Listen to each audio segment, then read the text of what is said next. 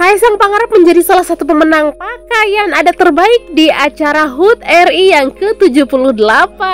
Terlihat dalam video Kaisang bersama sang istri mengenakan pakaian adat Minahasa. Kaisang juara keempat untuk pakaian adat terbaik ya.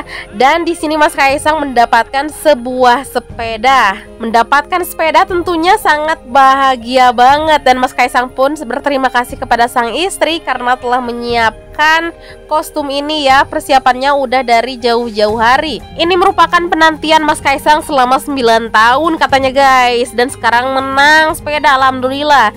Lanjut saja katanya Mas Kaisang mau beri memberikan sepeda ini untuk sang ayah ya, untuk sang ayah tercinta biar bisa berolahraga. Mas Kaisang, ini ngomong-ngomong ini konsepnya gimana?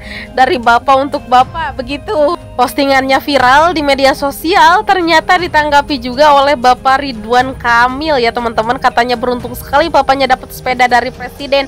Tolong testimoninya nanti diposting. Haha, gimana nih guys? Oh ya guys, kalian pasti penasaran kan siapa sih perancang busana ini sehingga Mas Kaisang jadi menang ya, jadi pemenang salah satu pemenang.